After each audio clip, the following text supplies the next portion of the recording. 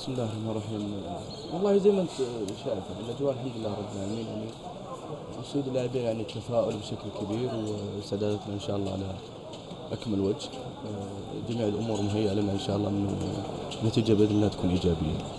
خليني ادخل معك في تفاصيل جزئية. يعني قاعد أحس إنه الإعلام الأسترالي أو حتى منسوبي المنتخب الأسترالي يمارسون شوية ضغط يعني اليوم صاحبكم اللي في الجزيرة الاماراتي يقول يعرف ريكارد لعب معه في غلطة سراي لكن اللاعبين لن يؤدوا ما يريد آه، ريكارد لأنه في ضعف في في المستوى آه، بالنسبة للاعب السعودي. تحس مثل هالمسجات تقلقكم؟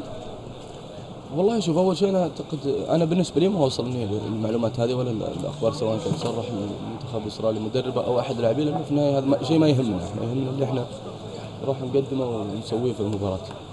الكلام نيكولاس وجهه نظره ومن حقه يعني ولكن مع ان ال- البعض تكلموا قالوا إنه المنتخب إنه نيكولاس نيل قال إنه بعض ال- ال- القنوات الأخرى سالوني يعني قالوا لي إنه نيكولاس نيل يعني يقول ان المنتخب السعودي فيه هشاشة أو شيء زي كذا. ضعيفة يمكن هذه آه، ليتنا ضعاف عادي ما في مشكلة يشوفنا ضعاف إن شاء الله بس إنها نكسب ثلاث نقاط إن شاء الله. أنت كيف شايف المنتخب الأسترالي؟ منتخب أنا ما أتكلم لك كمنتخب أتكلم لك كمباراة بالنسبة لنا المباراة صعبة لأن المنتخب الأسترالي ما تعنيه المباراة فهنا مدى صعوبتها لكن فبالنسبة للإمكانيات أشوف المنتخب السعودي حظوظه أوفر إن شاء الله. أنت على المستوى الشخصي بحكم إنك تحقت متأخر لليوم أقول لك أنت جاهز مستوعب التعليمات قادر تدخل في اجواء المجموعه أنا بالنسبة لي جاهز وعلى تم ال- ال- الاستعداد لكن آه، القرار الأول والأخير في يد الجهاز الفني. العافية الله يعطيك العافية. شكرا ابو عبد العزيز. شكرا. أيضا كابتن آخر من لاعبي المنتخب السعودي كامل أحييك. ما ما فكيت الخيوط زي ما وعدتني؟ والله قلنا نعطيها كمان وقتها إن شاء الله قبل المباراة إن شاء الله. يعطيك العافية. يمر اليوم والله الحمد لله الأجواء طيبة يعني الجميع يعني حاسس بالمسؤوليه وإن شاء الله يعني الجميع يكون على قد التركيز وعلى قد ال- المسؤولية اللي وضعها فيها الجميع. إن شاء الله نكون جاهزين بإذن الله على الله يعني اللي يخوفني ويخوف الجمهور السعودي هو لعب الكرات الطويلة العرضية. ناس طوال ما شاء الله ويعني حتى في مباراة الدمام قدروا يسجلون من هالطريقة آه، هدفين.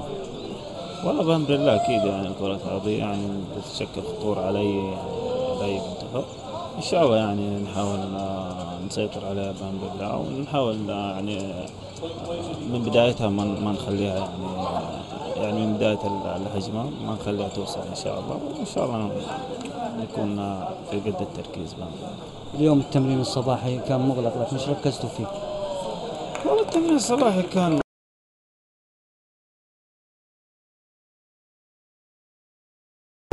على أساس آه، نقدر آه، إن شاء الله نحصل واحدة منها ونحاول نركز فيها يعني.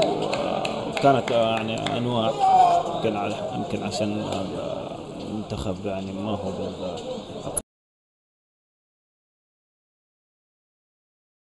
نحاول نستغلها فيها عن جاهزيه زملائك والله الحمد لله يمكن أنت قريب مننا وأنت شايف يعني ما شاء الله الجميع يعني جاهز.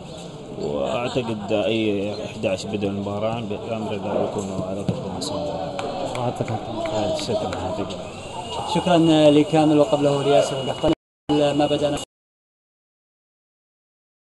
من هنا من ملعب ليك سايد في مدينة ميلبورن الأسترالية الملعب القريب من مقر سكن المنتخب السعودي في فندق ذا لانغهام آه، في منطقة ساوث بانك. عموما التدريب اليوم طبعا سيكون مستمرا